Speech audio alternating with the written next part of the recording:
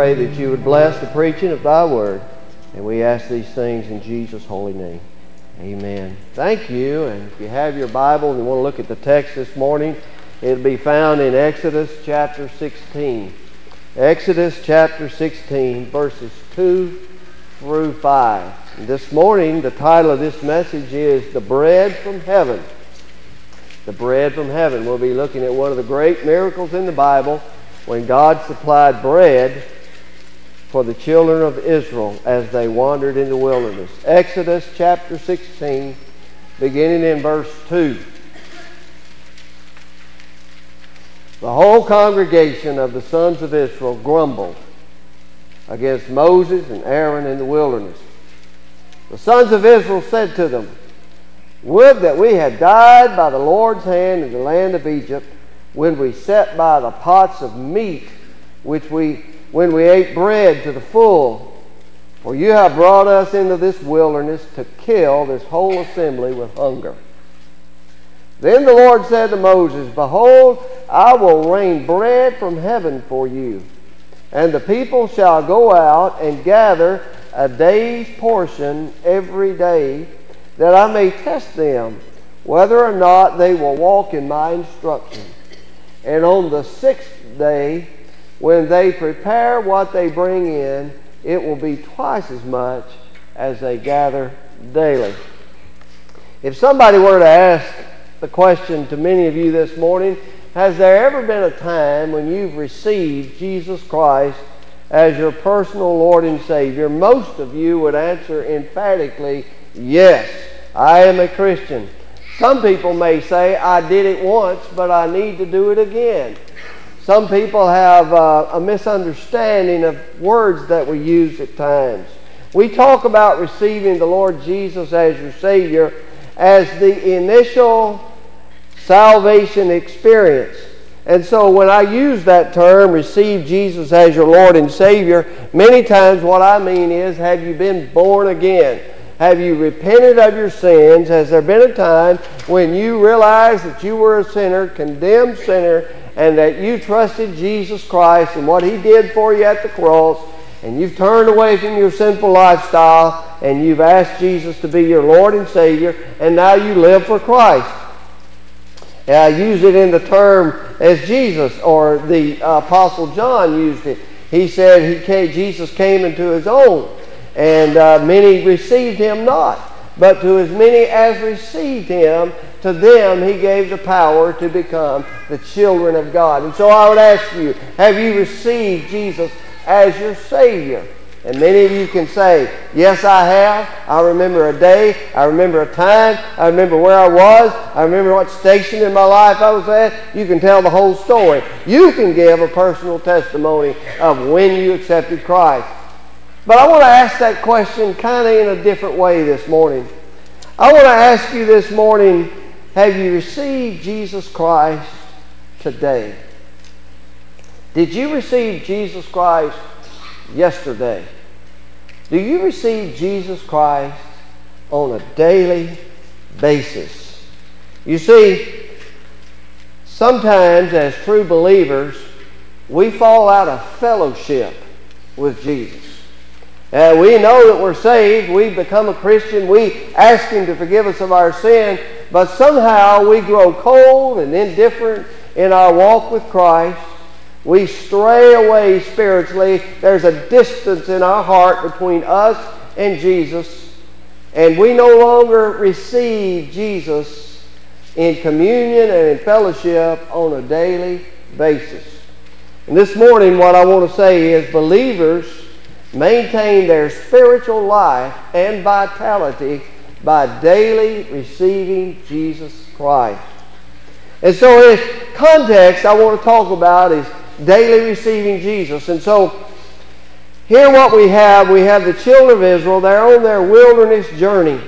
We know the story. They were set free because of the Passover lamb Pharaoh chased them to the Red Sea. Moses miraculously, through the power of God, the Red Sea split open and the children of Israel came across. And now they're out in the wilderness and they, last week they were thirsty and God gave them water. And today they're hungry. They don't have any bread. And what do they do? They continue their grumbling toward Moses. And Moses prays to God, and God miraculously provides bread from heaven. Now, I want to talk about this bread from heaven, and I want you to see how this bread from heaven is symbolic to the Lord Jesus Christ, and how that by receiving this bread, they give us a lesson on how we can receive Jesus on a daily basis. There's only three little basic points I want to make about this. Number one, manna tells us of God's gracious provision. The manna tells us of God's gracious provision. Did you ever stop to think about this manna? This manna is miracle bread. There's no natural phenomenon to explain this manna. This bread came down from heaven. In the Gospel of John, Jesus fed the 5,000 with the two, uh, five loaves and two fish. And in John chapter 6, he begins to uh, talk to them about it, and they want a sign. Now, I would think if somebody could feed 5,000 people with five loaves and two little sardines, I would say this man has got miraculous power. But as soon as Jesus fed them, they came to him, this religious crowd, and they said, Well, now Moses fed us all with bread from the heaven. You need to give us a sign. And in John chapter 6, verse 30, Jesus said to them, What then do you, or what then do you do for a sign? So that, or they said, What do you do for a sign that we may believe in you? What work do you perform? And they said, Our fathers ate manna in the wilderness. And Jesus said to them, Truly, truly, I say unto you, listen, it was not Moses who gave you the bread out of heaven, but it was my Father who gives you the true bread out of heaven. You see, Jesus changed the, the phrase there. Moses didn't give, but my Father gives. He's trying to get them to see that I, Jesus, Jesus is the bread of heaven. He wanted to clear up a misconception, and that was it was not Moses, but it was God who gave them this manna. He goes on to say in verse 33 For the bread of God is that which comes down out of heaven and gives life to the world. And they said, Lord, give us this bread. And listen to what Jesus said. Jesus said, I am the bread of life. He who comes to me will not hunger. He who believes in me will never thirst. Jesus tells his followers, I am the living bread that come down out of heaven. If anyone eats this bread, he will live forever. So you see the correlation between that earthly manna that failed to feed their physical body and what Jesus is saying there. He's saying, I am spiritual food, and if you take me in, you will live forever. Manna was physical bread, gave life to their bodies. The Lord Jesus Christ is God's gracious provision. It is spiritual bread that gives life to our souls. Now, this manna was like Christ in that it was a gracious provision. Did you notice what it said in Exodus, the, the first verse I read? It said, The whole congregation of the sons of Israel grumbled against Moses and Aaron in the wilderness. Now, I want you to understand something. The children of Israel, when they received this manna, were not behaving themselves very nicely. They were acting like Southern Baptists. It's amazing how God gives grace to grumbling, complaining, unbelieving people.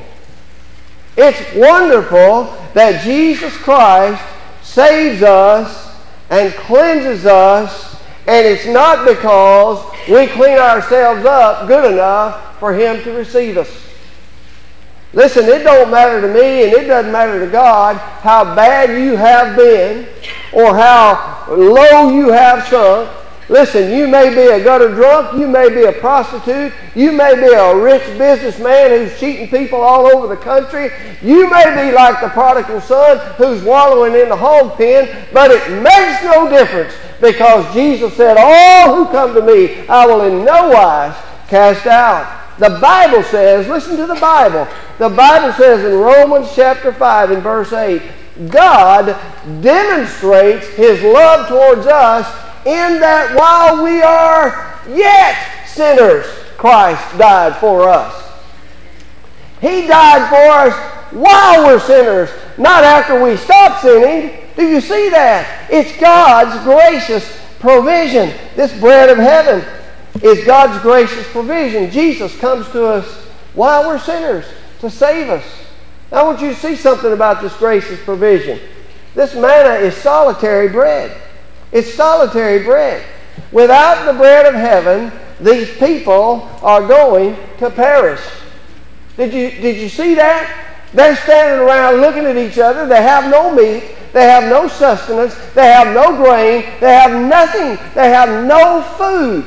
There's not a McDonald's. There's not a. There's not a. a, a, a there's, there's not a Cracker Barrel. There's nothing.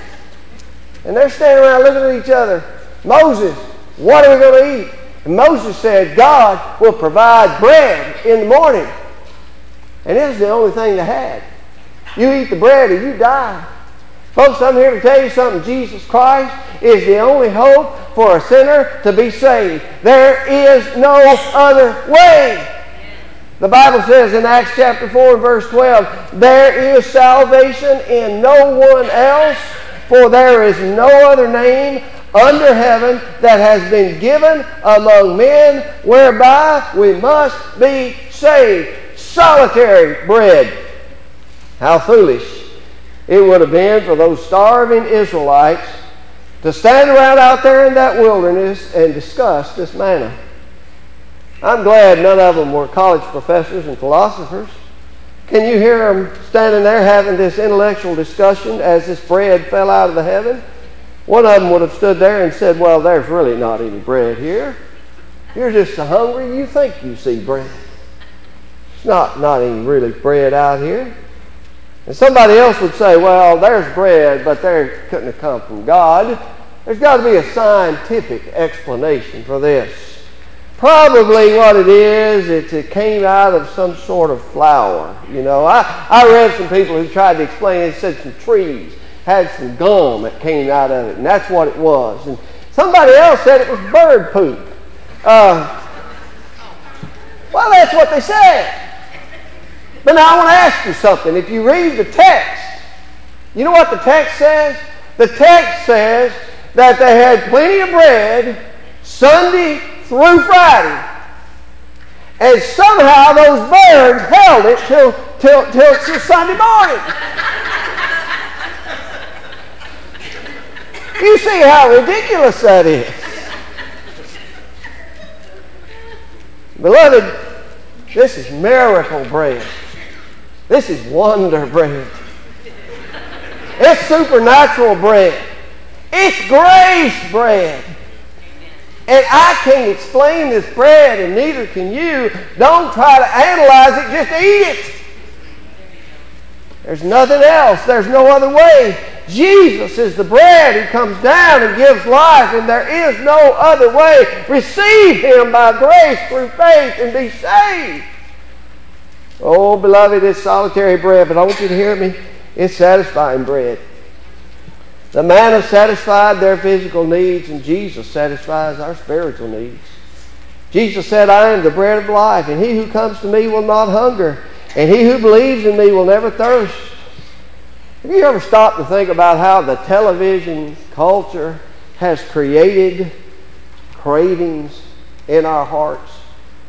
I'm telling you, there's a lot of things that I've seen on television and once I saw it demonstrated, I said to myself, you know, I'd like to have one of them. But if I'd have never saw it on television, I would have never even dreamed up such a thing. But after I see it, I want it. Amen.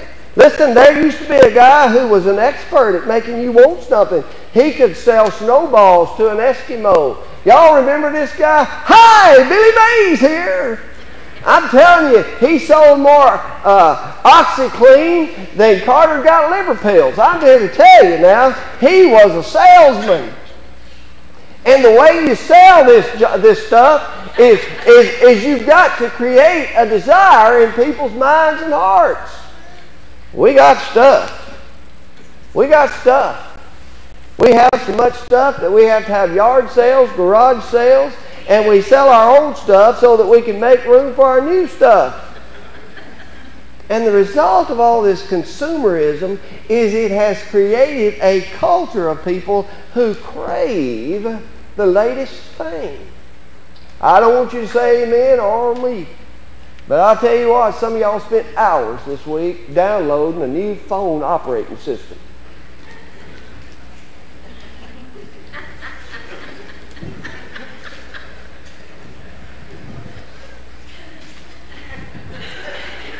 Don't that look silly?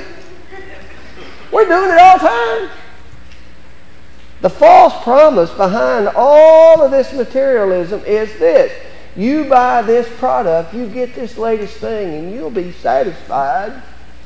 The latest toothpaste. I ask you, beloved, how many times can toothpaste be new and improved? Our teeth ought to be neon. The latest soap. Ha ha ha. You see these guys, how happy they are in the shower? They're just singing and carrying on.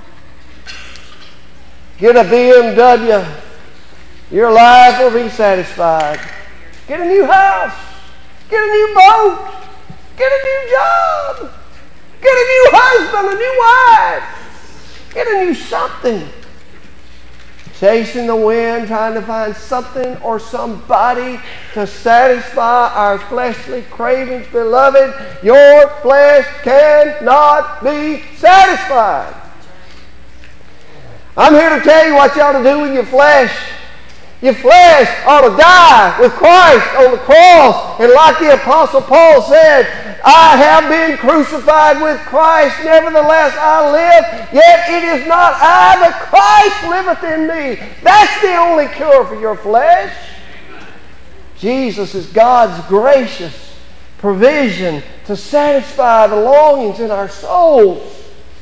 Jesus is solitary bread. There is no other. Jesus is satisfactory bread, and you must receive him just like this manna had to be eaten ingested, swallowed, taken into the innermost parts of their body, and once they did, it satisfied the cravings of their souls.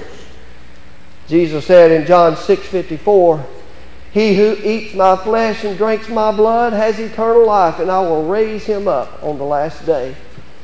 My question to you this morning are you hungry? I'm going to tell you something, man. When I get hungry, when I get hungry, there ain't nothing that smells better than good old biscuits. Cornbread. Y'all must have ate a good breakfast. I don't know. Uh, homemade rolls. How about that? Bacon in the stove. They tell me that if you'll cook bread, if you're trying to sell a house, and you cook bread and leave that smell in there when the buyers come, they're 10 times more likely to buy it.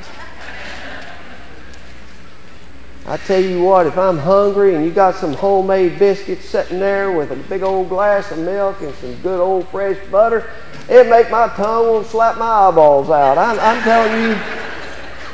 Jesus said in Matthew chapter 5 and verse 6, Blessed are those who hunger and thirst for righteousness, for they shall be satisfied. The question is, what are you hungry for?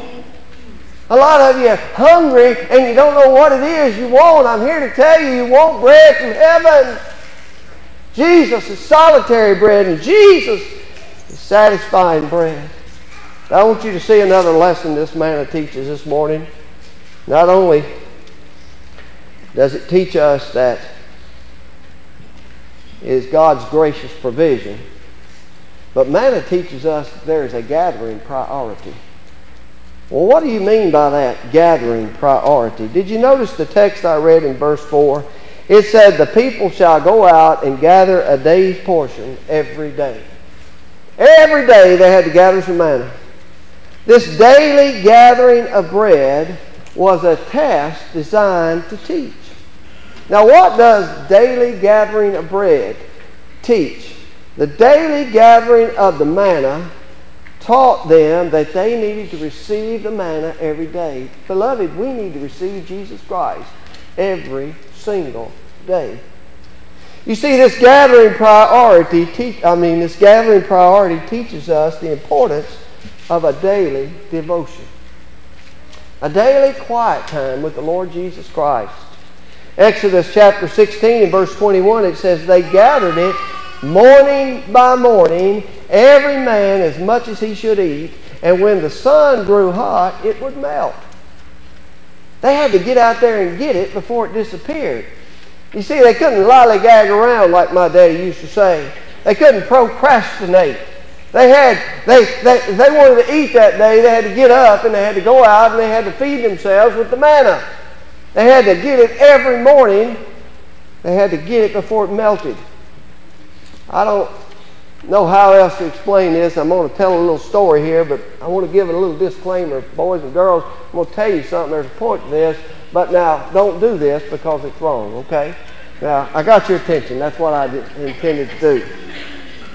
When I was in the fourth grade, we had a bully in our school. Bullying problem. It's a serious problem.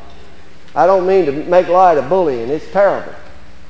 But we had a bully on our school bus. He was taller than everybody else. And he, and he had he had teeth that stuck out. We call that buck teeth. And he was a head taller than everybody on the school bus. And his teeth stuck out and they they I'm they were green. And his last name was Osborne. And so we nicknamed him Osborne Green. and this bully used to sneak up behind you on the school bus and he would take them teeth of his and he was taller than you and he'd stick them out like that and chomp you in the head. Kids are crazy. And he'd do that. And it hurt. Make tears come to your eyes.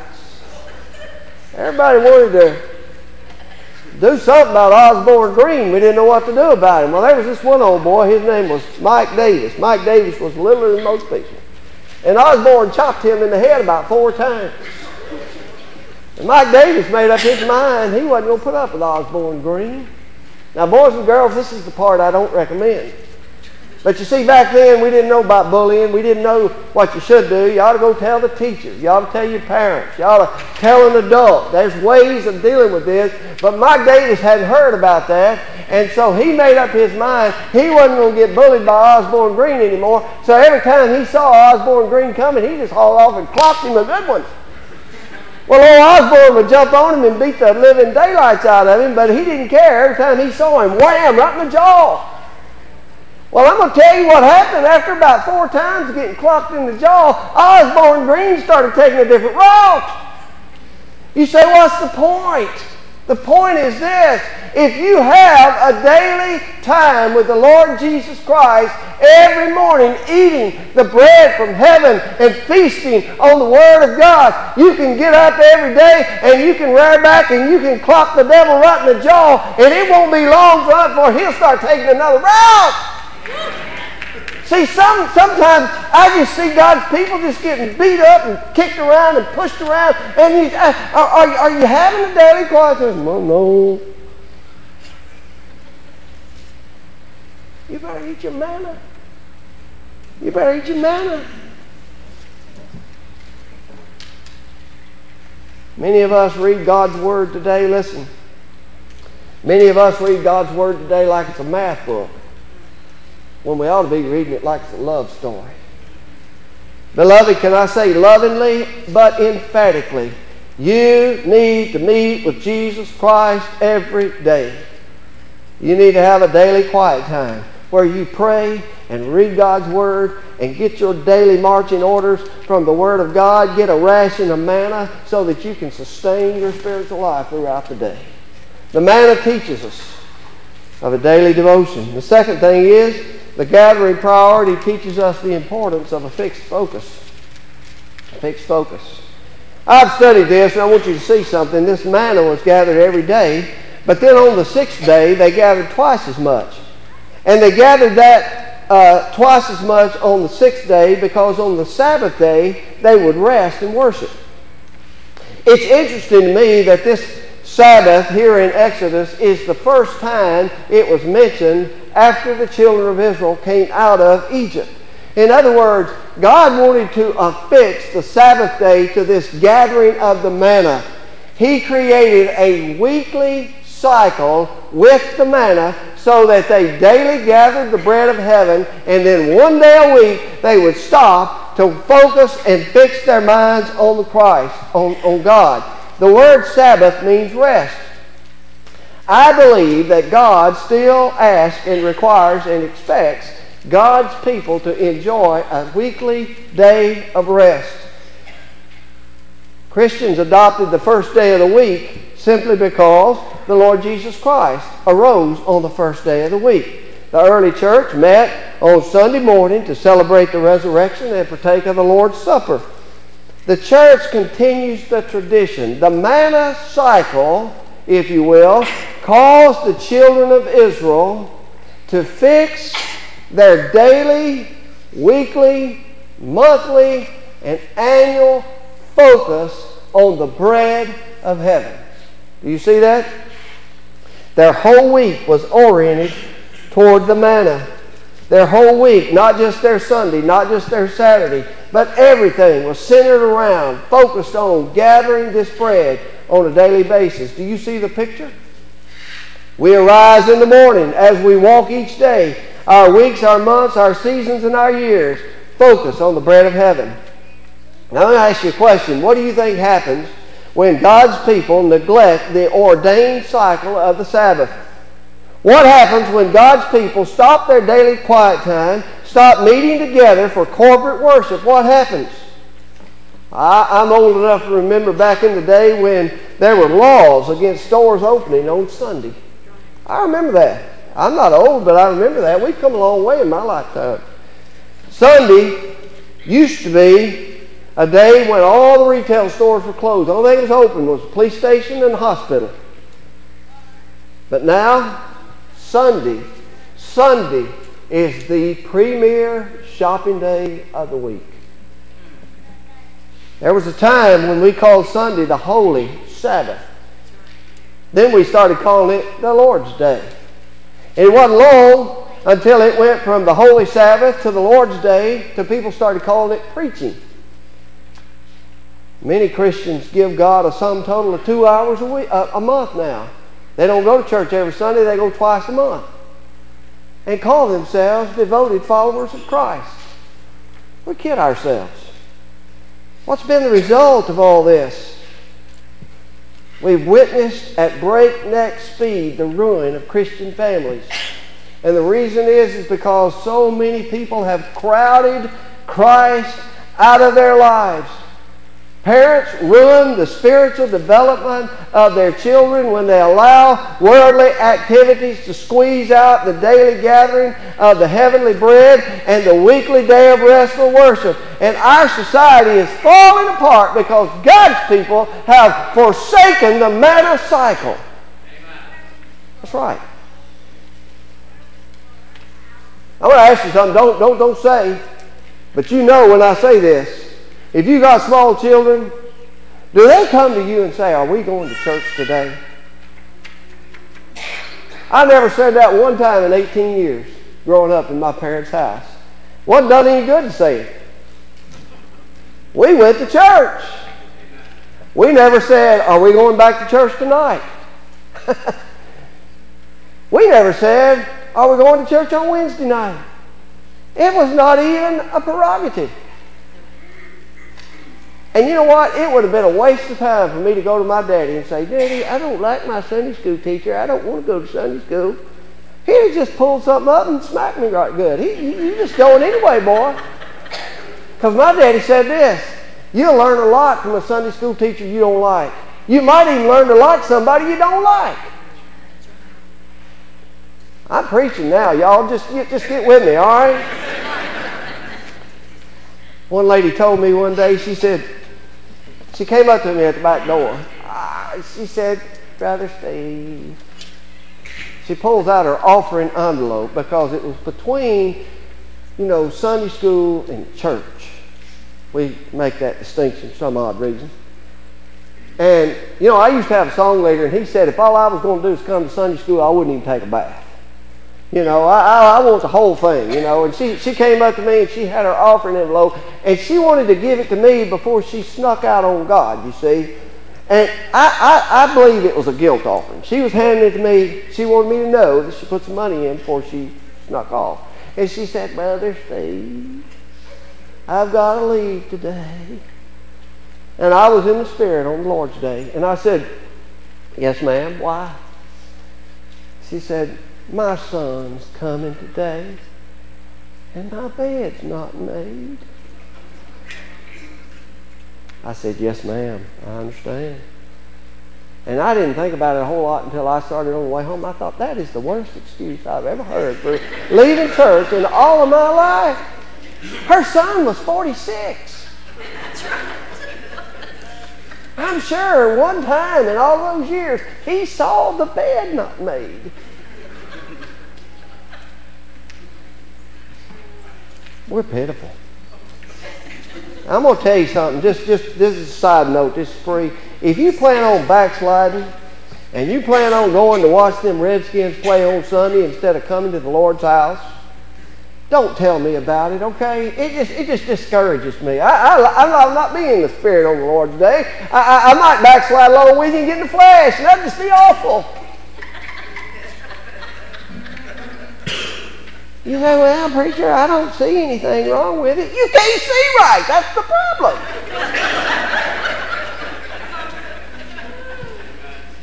I'll tell you something. I've been pastoring over 25 years. I started when I was six. And uh, the people that I've noticed that enjoy Sunday morning worship the most are those people who have feasted on the bread of heaven all week long. I'm here to tell you, I know folks that'd rather be here than the best hospital in Calvert County. Amen. Amen. I'm just kidding now, but there's a gathering priority of a daily devotion. And the gathering priority teaches us to fix our focus.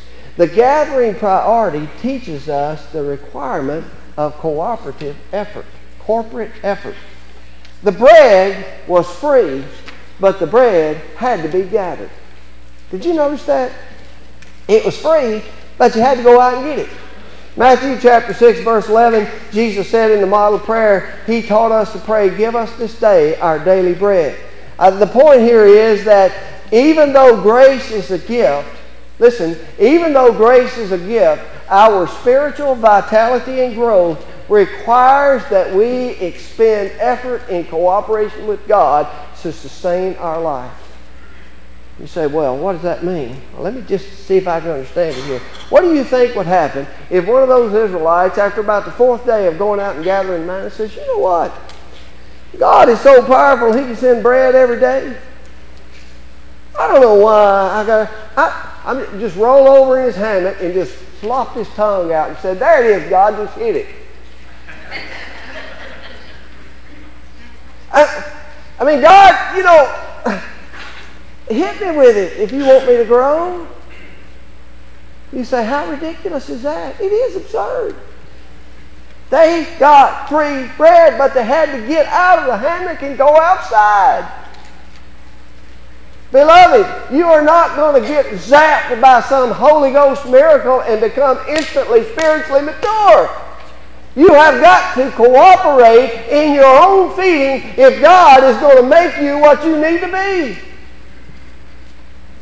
I remember we had a couple of boys came to live with us. They were they were good boys, except they were just really mean. And they grew up up in the trailer parks in Nashville, and uh, they were just tough as pine knots. And uh, trying to teach them a few things. Nobody ever taught them anything. They was five and seven years old, and they didn't know how to take a bath.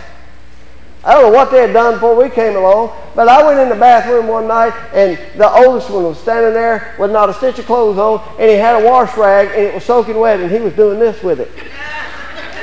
It was raining in the bathroom and they thought that was the funniest thing. They didn't know anything. And we go in there and, and, and, and it was cold and, and the boy would be standing there and he had a towel on his back and he was just going, uh, And I went in there and I said, Jimmy, dry off. He said, I don't know how. And I told him how. You know what he said to me? It's too hard. I said, well, freeze.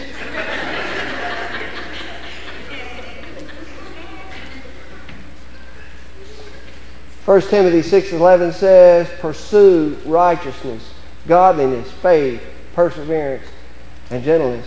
Romans 14.19 says, Pursue the things which make for peace and the building up of one another. Hebrews 12 14 says, Pursue peace with all men and the sanctification without which no one will see the Lord. Pursue, pursue, pursue. Stretch yourself out in this thing of gathering the manna. You have got to cooperate with God or you will starve to death. And then finally, this gathering priority teaches us the importance of congregational fellowship. In Exodus 16, verse 16 and 18, it says there that uh, this is what the Lord has commanded gather of it every man as much as he should eat. You shall take an omer apiece according to the number of persons each of you has in his tent. The sons of Israel did so, and some gathered much, and some gathered little.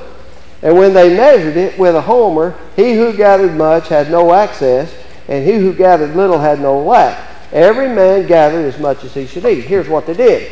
Every day while the manna was out there, every person in the camp went out and gathered manna. They took what manna they had. Say somebody over here gathered a whole bunch and somebody over here couldn't gather very much, and they all piled it in a big old pile, and then everybody got the same amount. You, you, you see what's going on here? This is, this is Christian fellowship. Suppose for a moment uh, one of these people had a sore leg or, or a broke toe or something, and they couldn't gather very much. But you had this big, strong, strapping guy over there, and he could just scoop up it by the bucketfuls. Well, now, one person wasn't allowed to say, I got my manna, I quit. I'm taking my little manna and I'm going home. Y'all fend for yourself. Here's the point, beloved. While the bread was out there, everybody gathered bread. Everybody, every man, woman, boy, and girl, every child, everybody that could pick up manna was picking up manna. And they picked up manna until it was time to quit picking up manna. What God was doing here was God was trying to teach them to become a unified nation. Previously, they had been slaves. Previously, they eat what they could grub and what they could grab, and they, they, served themselves. But God wants them to become a unified army because one day He's going to use them to fight His enemies. They cannot go to war against God's enemies. They must become cohesive. They must become unified. They must have solidarity. They will need to look out for one another. The community gathering is a perfect picture of Christian fellowship. 1 Corinthians 10, verse 3 4, talking about this incident, Paul says, they all ate the same spiritual food and all drank the same spiritual drink, for they were drinking from a spiritual rock which followed them, and that rock was Christ. See, there was no special treatment. There were no people in the camp who got steak while everybody else ate bologna. You know what Moses and Aaron did when gathering time was going on? Moses and Aaron had their bucket out there and they were picking up manna right along with the lowest kid in the place the priests and the Levites gathered manna. And I see a perfect picture of the family of God here. You see, there are no special saints. We all gather manna together and we all share the manna. God intends that His people worship together, work together, win the world together, and we cannot accomplish our mission if we're fragmented, fighting, and jealous. We need to forget all this outward stuff, these personal talents, and these worldly treasures oh, he can sing, or he's got money, or poor little old me, I'm just a sinner saved by grace. I can't do anything. I don't have anything. Let me tell you something, folks. If you're saved, you are rich. You say, what do you mean? I, the bill collector's calling me. You got Jesus. You got Jesus. He is the pearl of great price. He is the hidden treasure. He is the lily of the valley, the bright morning star. And when you get Jesus, you can't get anything any better. I'm going to tell you something for a hundred million years in eternity. You know what we're all going to have? We're all going to have the exact same thing. We're all going to have Jesus. And so we're all equal. So let me ask you something. Are you receiving Jesus Christ in daily devotions? Do you receive Jesus Christ? Is He your fixed focus? Is your life focused around the manna cycle of gathering and worshiping? Are you cooperating with God in your maturity? And are you receiving Jesus through Christian fellowship, working together, serving together in the body of Christ? Do you pull your weight as a family member in the body of Christ? And then I want to make one final point very quickly. And that is the manna warns us not only is it God's gracious provision, teaches us of our gathering priority, but the manna warns us about our grumbling propensity. It said that they grumbled to get manna. But I want to read another verse from another book and talks about manna. Numbers chapter 21, verse 4 and 5. Listen to this. They set out from Mount Hor by the way of the Red Sea to go around the land of Edom, to go around the land of Edom. And the people became impatient because of the journey. And the people spoke against God and against Moses, quote, Why have you brought us out of Egypt to die in this wilderness? For there's no food and no water, and our soul loathes this worthless bread. Now, let me give you a little bit of idea here, a couple of things worth noting. First off, this incident in Numbers 21 is not the incident that we're talking about in, in Exodus. This incident in Numbers 21 happened years later. It, it, it, it, happened in the wilderness. Manna, by the time Numbers 21 comes around, it's not new anymore. In fact, it was a daily occurrence. They didn't see anything miraculous about it anymore. It was mundane. It was same old. It was every day. It was common. And then thirdly, they were very, very close to Canaan in Numbers 21. As a matter of fact, if you look on the map, this Mount Hor, where they were at, is just on the southern tip of the Promised Land. Something else you need to know about Mount Hor. Not only did they pass by it this time, but they had made several passes by. The point is this they had just won a battle. They were very close to the promised land. They could probably send spies over there and see it. And they had been wandering around in the wilderness for years eating this manna. And so now what's the problem? They're tired of the wilderness. They're tired of circling around.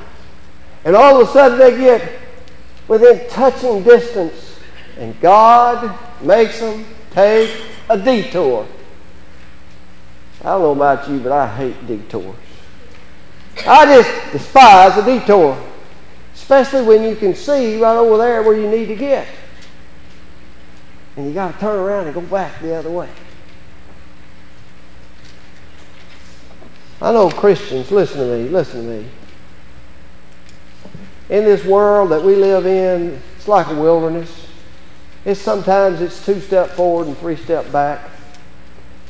But their biggest problem was is they had become bored with the bread of heaven. I, I, I, know Christians. Listen, I'm coming in for a landing here, so don't lose me now. Listen, listen, listen. I know Christians that are bored living the Christian life. They're tired of the wilderness. They want a little excitement. They're tired of the journey. They're tired of Moses. They're bored with prayer. They're bored with Bible study. Going to church, just, oh, not again. Do we have to go to church? They long for something to excite them. They long for Egypt. They long for a spark of excitement into their mundane lives. Miracle bread from heaven just doesn't do it for them anymore. Sometimes people say to me, not very often, but I've had it said to me over a few years, does your church have, and it's just a variety of things, usually it's the latest form of Christian entertainment. Does your church have, and they list something that they recently saw in a megachurch. Does, does your, your church do concerts? Does your church have a coffee shop? Does your church have an indoor playground? I went to so and so's church. They had a playground better than McDonald's. Light show, Fourth of July shows, car shows, Christian comedians, clowns. I recently heard of a church. Now, I'm not kidding. I'm not making this up. This is not preacher talk, okay? I heard of a church that on Saturday evening held dances. And when the preacher mounted his stage on Sunday morning, cheerleaders burst forth from the crowd and did flips down the aisle praising the pastor. Some people just can't be embarrassed, I guess. I don't know. But all that, sometimes I wonder should we jazz it up around here? Could, could, could, we attract more people if we just had some clowns or maybe some comedians? Some of y'all think I'm a comedian. I don't know. Somebody said one time the problem in the church today, listen, the problem in the church today is not the menu, it's the appetite. We keep, we keep people with what we attract them with. And if we attract people with entertainment, we're going to have to keep them with better shows.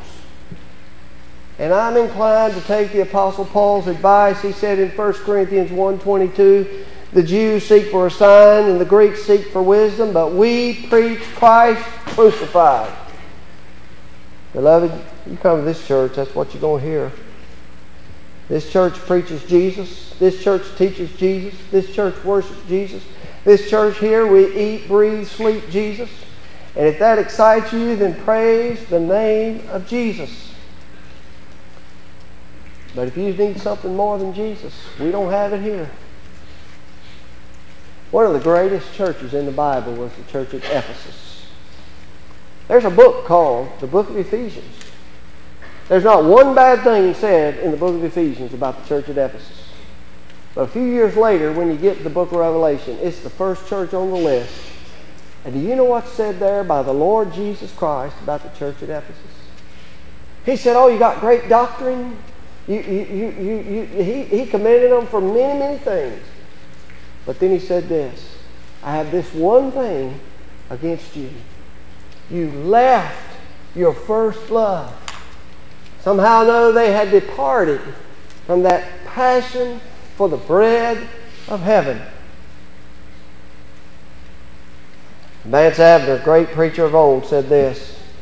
He said, Revival is nothing more than falling in love with Jesus all over again. I like that. Gypsy Smith, another evangelist, once said, The way to start a revival is to go in your closet, draw a circle on the floor, get in that circle, kneel down, and pray until you fall in love with Jesus all over again, and the revival is on. I like old Bill Gaither. He's got that song, Jesus, Jesus. Jesus. There's just something about that name. Master, Savior, Jesus, like the fragrance after the rain. Jesus, y'all know that? Jesus, Jesus. Let all heaven and earth proclaim. Kings and kingdoms will all pass away, but there's something about that name. Woo! Hallelujah. He's the bread of life. He's the solitary bread, the satisfying bread. Let me ask you something. How many here this morning, how many of here this morning do you need to receive Jesus Christ as your personal Lord and Savior? You've never been saved. There's a longing in your soul, an emptiness there. It's gnawing away, and you're trying to fill it with everything imaginable. Only Jesus. Only Jesus. Then I want to ask this question How many of you, listen honestly this morning, how many of you sitting in this room, in the balcony, upstairs, back here, spiritually, you are cold and indifferent to God? You've become bored with the bread of heaven. How long has it been? How long has it been since you enjoyed? I said enjoyed a daily quiet time uh, with Christ. Does your life revolve around yourself, your needs, your desires, or does it belong and revolve around the Lord Jesus Christ? Who would be willing to say this morning, I need to start gathering my share of the manna? See, there's some weak folks in this church that can't gather much. Some of you strong folks need to gather for them because it's a corporate congregational effort. How many of you this morning would just say a simple thing like, I want to fall in love with Jesus again? Would you stand with me, bow your head, and close your eyes this morning?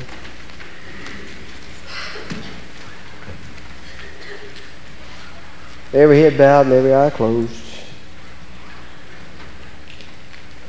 We give an invitation in our church because we ask people to seriously and prayerfully consider what God would have them to do. And maybe this morning, God wants you to come to this altar and He wants you to pray. And maybe He hasn't told you why, but when you get here, He will. You just know He wants you to come this morning. You don't have to say a word to me or anybody else. You've got a burden on your heart and you want to come talk to the Lord about it. Perhaps this morning God wants you to come for church membership. Would you pray about that? If you are not a member of this congregation and you've been baptized or you want to be baptized, would you come this morning and make that known? Maybe this morning you want to come for salvation. You're cold and empty inside. You're a sinner. And you need to be forgiven of your sins. There's only one way God's gracious provision, the bread that came down out of heaven it's the only bread there is, but it's satisfying bread. You need to come this morning.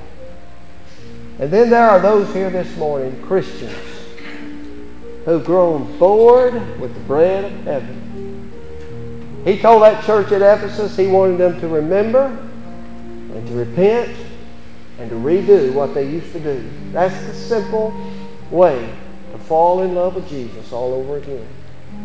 I know there are some of you this morning who need to rededicate your life to Christ. So I'm going to pray, and then I'm just going to stand down here out of the way. If you need to come, if you want to come for salvation, come to me. If you want to come for another reason, just come and kneel at this altar, and you and Jesus speak to one another. Father, in Jesus' name I pray. As I prayed this morning, God, that you'd make our make our souls aware and our hearts and our minds aware of our hunger and our thirst. And God, primarily this morning, this message is for saved folks. That they'd rededicate themselves and realize that their life ought to revolve around the bread of heaven. So I pray that you speak to our hearts this morning. But God, there's those who are not saved and they know it. And I pray today would be the day of salvation. And the Holy Spirit would give them that conviction and that courage to say today, I'm a sinner. I need Jesus. And so in just a few moments, we're going to begin to sing. And if God has laid it on your heart to come for any reason, don't tarry, don't delay. Step right out. Come. In Jesus' name we pray. Amen. Won't you come all get